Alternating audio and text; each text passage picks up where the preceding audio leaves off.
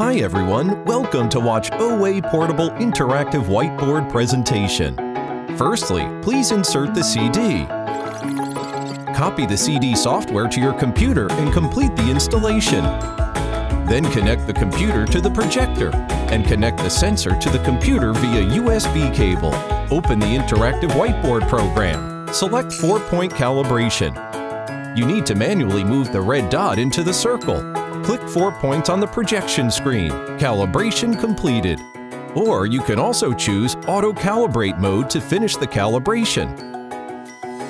Now we can have a great fun with Google Maps, zoom in or zoom out. You can open the browsers, touch and switch web pages freely, or draw pictures with your friends together, play games, even operate ABC software or other software.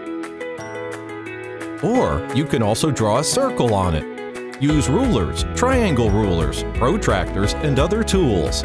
See, we can easily zoom in, zoom out, or rotate pictures. And don't forget, we can also annotate PPT.